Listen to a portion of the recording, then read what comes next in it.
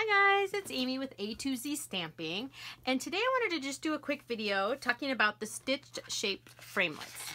So you might have seen these in the catalog and again they're called the Stitched Shapes Framelits dies and you might have been wondering what they're all about. These were new last year, I want to say maybe in um, November or December last year these came out and what you get is um, you get the ovals, the squares, and the circles. They come in a package like this and then I just put mine on magnet sheets because I think it's easier Sorry about that. So um, I just stick mine on these magnet sheets because it's easier. But anyway, what I was saying was um, they each come, so they nest with each other. So one, two, three, four. There's four of each size, um, as you can see. And actually, um, so I cut them out with my Big Shot to show you what they look like.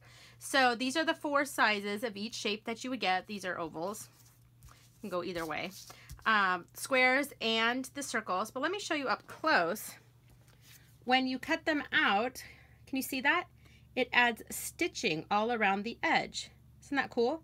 So it's really neat. Um, so when you're wanting to mount a stamped image onto this, maybe um, you stamp something on white cardstock, then you mount it on this, it just is that little bit added detail that you sometimes just need on a card or on a scrapbook layout. So I think it's really, it's really cool.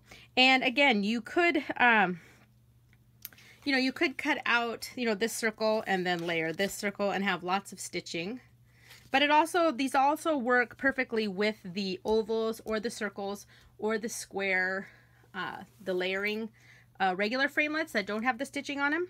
So that's really the only difference. Can you see that? But this is a really good value, this uh, stitched shape framelit set, because it's the only set that you get the ovals, the squares, and the circles in. So anyway, this video is really short and simple and sweet, but I just wanted to show you what these were all about in case you wondered, well, what is that stitching all about? And this is what it's all about. Isn't that cool? And the other side looks like this. So really, some people, I've seen them use the back side, but it's the front side that you want to do. Isn't that neat, that stitching it adds? So simple. So if you've ever been wondering about them, that's it. So anyway, I hope this video helps you. Nice, sweet, short, and to the point. Subscribe to my YouTube channel, guys. Thanks. Bye.